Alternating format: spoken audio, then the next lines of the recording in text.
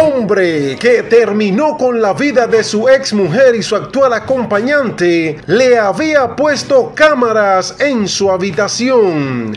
Bienvenidos a su canal de noticias Sin Fuego a Fuego Net con las mejores informaciones.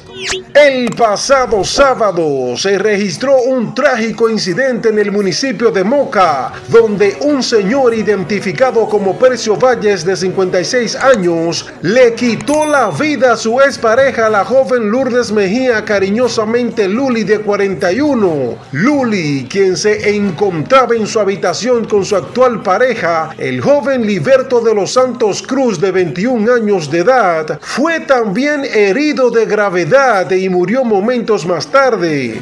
Según cuentan los familiares, quienes aún no salen del asombro, dicen que el señor Percio, luego de haberle quitado la vida a su pariente, intentó quemar con gasolina ambos cuerpos. También confirmaron de que el agresor pudo sorprender a ambos fallecidos en el acto gracias a una cámara de seguridad encubierta que éste había puesto en una de las maletas que dejó en el cuarto de su esposa. Se recuerda que en la noche de ayer, luego de estar siendo activamente buscado por la policía, el señor Percio Valles no se dio a entregarse a las autoridades, por lo que éste tomó la fatal decisión de terminar con su vida. Veamos ahora el reportaje que realizó el reportero Inocencio Encarnación desde el lugar de los hechos.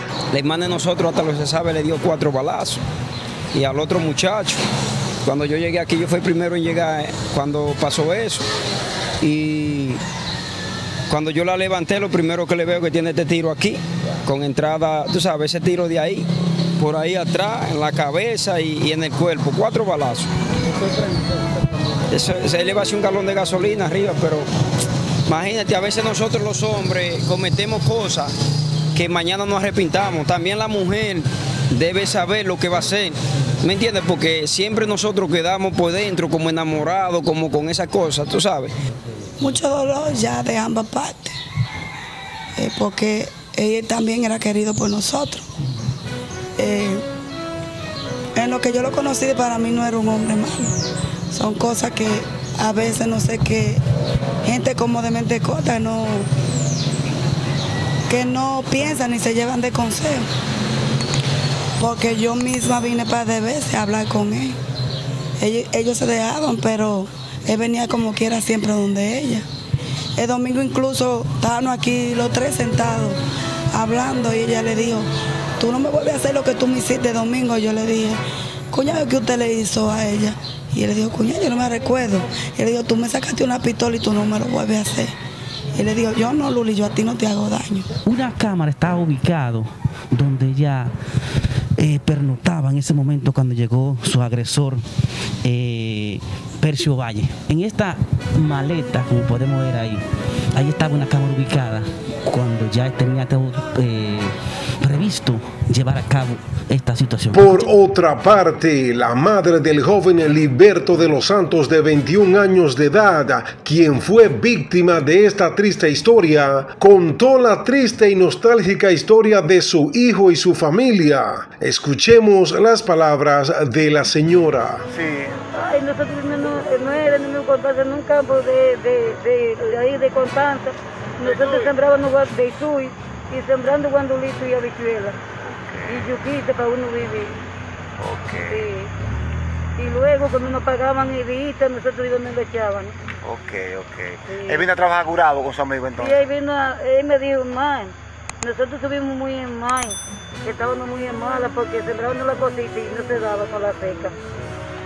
Cuando se- no se pedía de seca, se pedía de agua y entonces él me dijo, yo me voy a ir para Santiago a ver si, si hallamos algo para mandarle.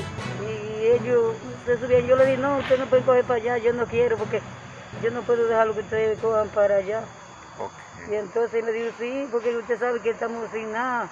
Y entonces uno tiene que buscarse la vida para mandarle algo, para tirarle algo a usted. Ah, eso, está bien, doña, gracias. Señor, 22 años, sí. Es que yo no tengo pendiente. ¿Y de dónde son ustedes? Ay, de Constanza. él, él tenía, él venía en Moca. Familiares del señor Percio Ovalle, quien cometió este horrendo crimen, confirmaron de que la relación entre este y la señora Luli aún no había terminado del todo, ya que estos simplemente se habían separado de convivir juntos, pero la relación aún se mantenía con vida. Escuchemos las palabras de los familiares del señor Percio Valle.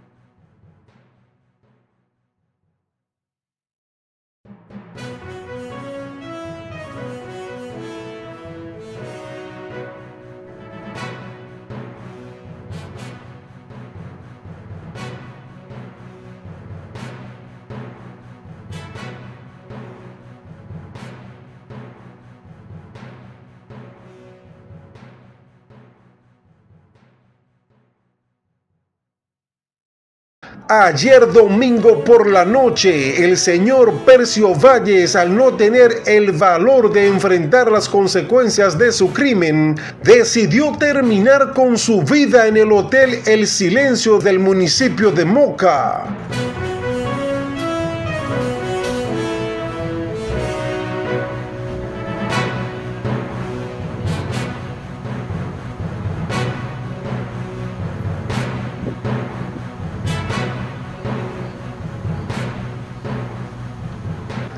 Ustedes, queridos suscriptores, ¿qué opinan de esta triste y trágica historia, la cual terminó con la vida de tres personas por el amor de una mujer? Sigan con nosotros y en Fuego a Fuego Net con las mejores informaciones. Recuerda, si te gusta nuestro contenido, apóyanos suscribiéndote a nuestro canal. Activa la campanita para que te lleguen al instante todas nuestras noticias. Y no te olvides de comentar, compartir y darle like. Si te gusta el género urbano y el mundo del entretenimiento, suscríbete al canal de Dímelo KD para que estés al tanto de todo lo que acontece.